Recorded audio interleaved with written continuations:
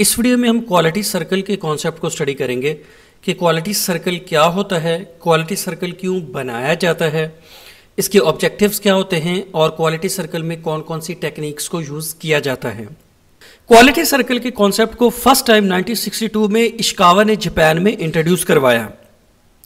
Quality circle का मतलब यह है कि जब एक ही डिपार्टमेंट में एक ही जैसा काम करने वाले लोग वॉल्टरली मिलते हैं वर्क रिलेटेड प्रॉब्लम्स को आइडेंटिफाई करने के लिए प्रॉब्लम्स को एनालाइज करने के लिए प्रॉब्लम्स को रिजॉल्व करने के लिए। ऐसे इनफॉर्मल ग्रुप को कहते हैं क्वालिटी सर्कल क्वालिटी सर्कल में हमेशा चार से छह लोग होते हैं। क्वालिटी सर्कल की डेफिनेशन के अंदर तीन चीज़ें इंपॉर्टेंट हैं। सबसे पहले चीज़ कि एक ही डिपार्टमेंट में काम करने वाले लोग। फॉर एग्जांपल प्रोडक्शन डिपार्टमेंट है मार्केटिंग है या मैन्युफैक्चरिंग डिपार्टमेंट है। तो एक ही डिपार्टमेंट में काम करने वाले लोग और दूसरी चीज़ होती है एक ही जैसा काम करने वाले। और तीसरी चीज़ होती है कि ये लोग वॉलंटियरली मिलते हैं। तो एक ही डिपार्टमेंट में एक ही जैसा काम करने वाले लोग वॉल्टरली मिलते हैं वर्क रिलेटेड प्रॉब्लम्स को आइडेंटिफाई करने के लिए एनालाइज करने के लिए और रिजॉल्व करने के लिए। इस इनफॉर्मल ग्रुप को हम कहते हैं क्वालिटी सर्कल अब वर्क रिलेटेड प्रॉब्लम्स किस तरह के हो सकते हैं?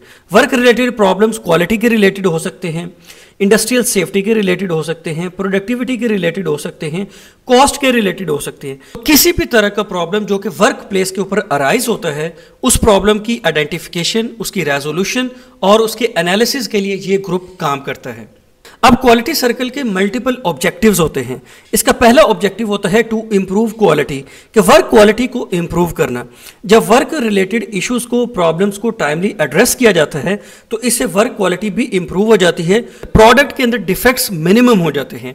एरर्स के चांसेस कम से कम हो जाते हैं। क्वालिटी सर्कल का नेक्स्ट ऑब्जेक्टिव होता है to minimize down time of machines and equipments production या मैन्युफैक्चरिंग डिपार्टमेंट के अंदर जो मशीन्स या जो इक्विपमेंट्स यूज़ हो रहे हैं, उनके डाउन टाइम को मिनिमाइज रियलाइज़ करना कि मशीन्स या इक्विपमेंट्स जो होते हैं उनकी टाइमली करेक्टिव और प्रिवेंटिव मेंटेनेंस को इंश्योर करना अगर मशीन्स या इक्विपमेंट्स की टाइमली मेंटेनेंस होती रहेगी तो इससे उनका डाउन टाइम मिनिमाइज हो जाता है।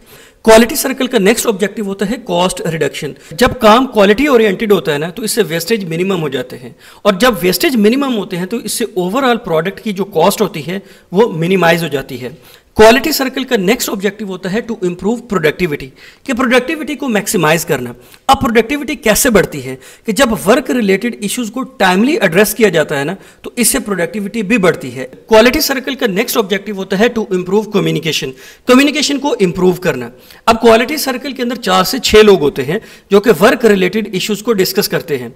तो अब ये लोग जब एक दूसरे के साथ डिस्कशन करते हैं तो इससे कम्युनिकेशन भी बढ़ती है। हर एक पार्टिसिपेंट अपने इशू को डिस्कस करता है दूसरे टीम मेंबर्स के साथ। नेक्स्ट ऑब्जेक्टिव होता है development of positive working environment कि इससे पॉजिटिव वर्क एनवायरनमेंट भी डेवलप होता है। कि जब इश्यूज़ को टाइमली डिस्कस किया जाता है एड्रेस किया जाता है और उनको रिजॉल्व किया जाता है तो इससे इंप्लॉयज के अंदर मोटिवेशन डेवलप होती है। क्वालिटी सर्कल का नेक्स्ट ऑब्जेक्टिव होता है development of team spirit quality circle के थ्रू टीम स्पिरिट भी डेवलप होता है। अब क्वालिटी सर्कल के अंदर चार से छह लोगों की टीम काम करती है, जो कि एक दूसरे के साथ डिफरेंट इश्यूज़ को डिस्कस करते हैं और इश्यूज़ की रेजोल्यूशन के लिए काम करते हैं। तो जब सब लोग मिलकर काम करते हैं तो इससे उनके अंदर टीम स्पिरिट डेवलप होता है।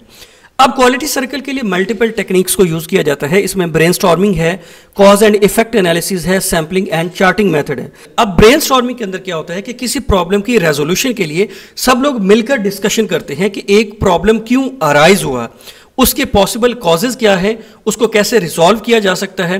तो टीम मेंबर्स डिफरेंट ऑल्टरनेटिव्स को डिस्कस करते हैं और किसी एक अप्रोप्रिएट को सिलेक्ट करते हैं।